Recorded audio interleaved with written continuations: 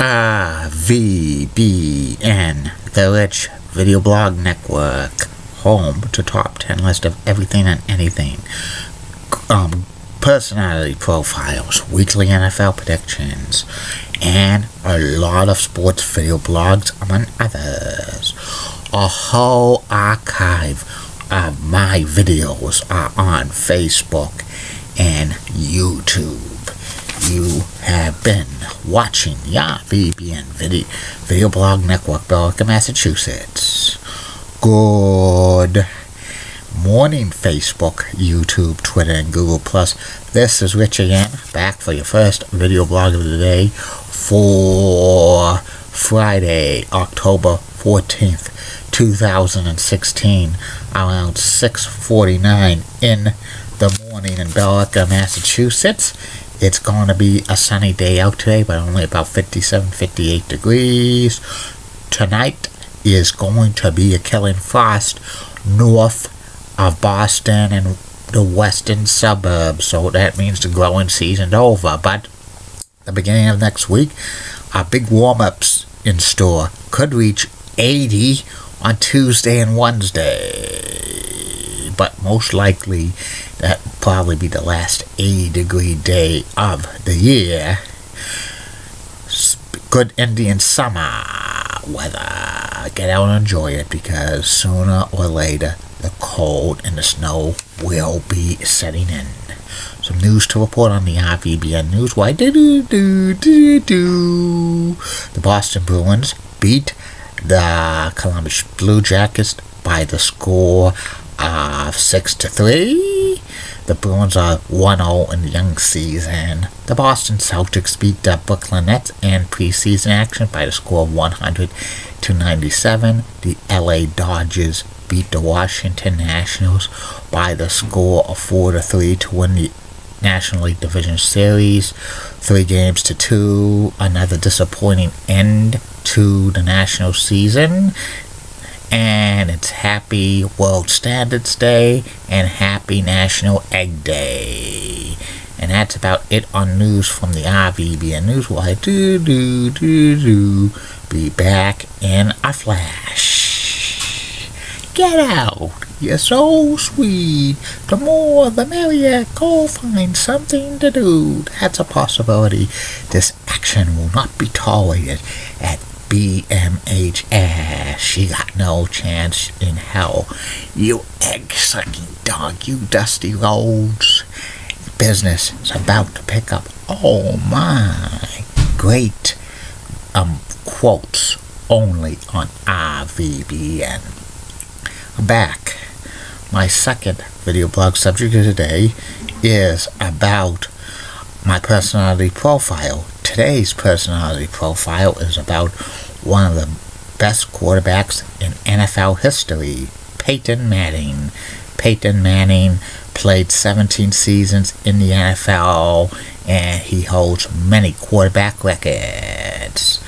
Peyton was born and he grew up in New Orleans, Louisiana. He comes from a football family background. His father, Archie Manning, was an NFL quarterback, mainly for the New Orleans Saints.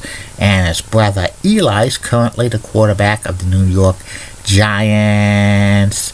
He also has another um, brother named Cooper, which he played quarterback briefly in high school, but an injury forced him to end his football career in high school. And he wore number 18 in his honor because that was Cooper's number.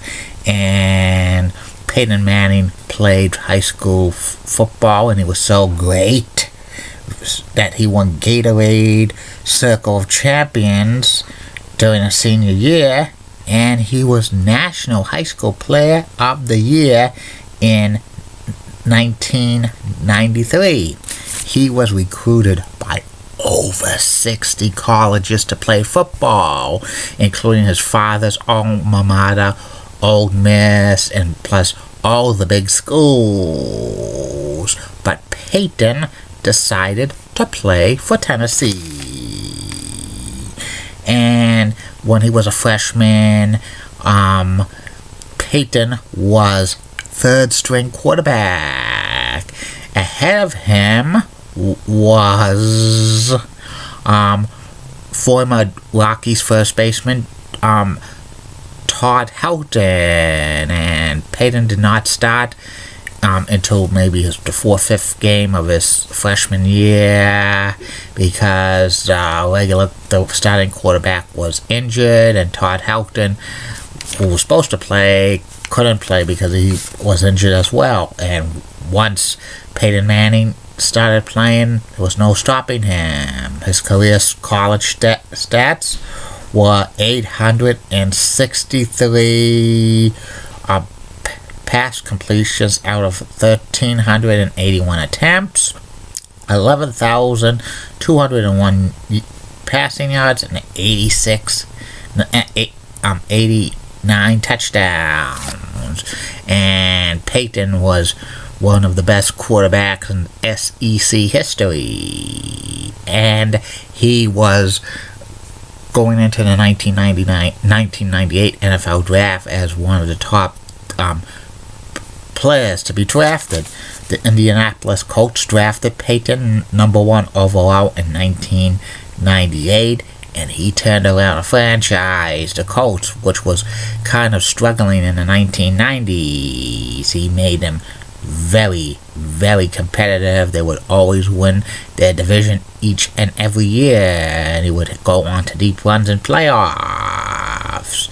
And he spent his first um 13 year, years in the NFL with the Colts, but he suffered a neck injury in 2011 that forced him to miss all the season, and that was the year the, the Colts tanked in the standings, and it was another franchise quarterback coming up who was going to be the number one pick, Andrew Luck, and the Colts did not want like to draft Andrew Luck and he sit on on the bench for a few years. So the Colts um, released Peyton out of his contract and he spent the final four years of his NFL career with the Denver Broncos, even though he wasn't the Peyton Manning of old towards the end of his career, he still was productive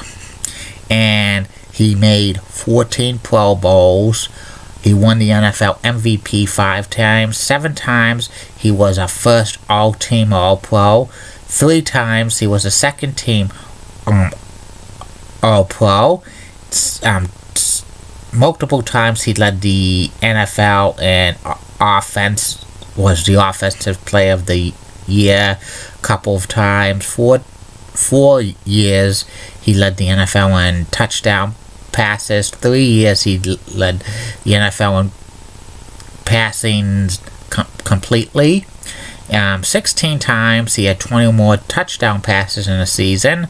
All 17 years in the NFL, he had 2,000 yard seasons. He holds many NFL records, plus also team records from the Colts and the Broncos. And he was a two time Super Bowl winner. He won Super Bowl 41 with the um, with the Colts, and he won Super Bowl 50 with the Broncos, and he was Super Bowl 50 MVP.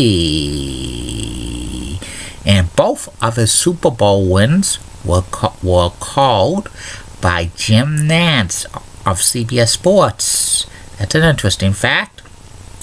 Peyton retired after Super Bowl 50 and he has awesome career stats 6,125 um, complete pass completions after 9,380 attempts 65 6 a 65.3 succession rate, 71,940 passing yards, 539 um, touchdown, I mean touchdown passes, and 251 interceptions.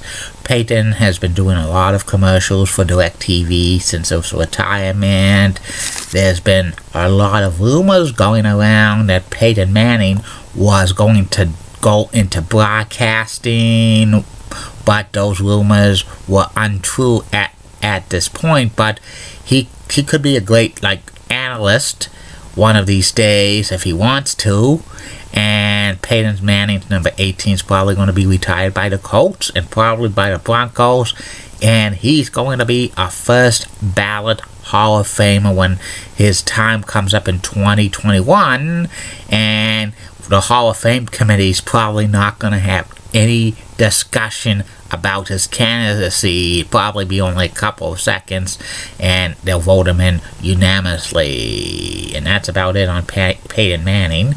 I'll be back later, Facebook, YouTube, Twitter, and Google Plus with two more video blogs. One will be about the wrestling podcast tag teams back again with Kelly and Ma- Marty Sleaze. And third and final video blog of the night will be about the top 100 greatest bl- blondes of all time. This one will be from number 40 through number 31.